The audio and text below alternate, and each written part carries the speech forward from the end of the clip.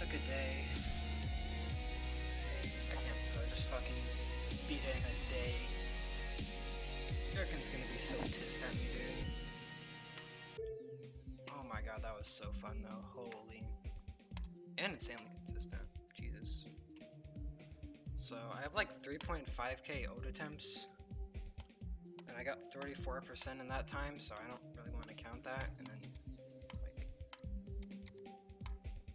many copyable attempts I have.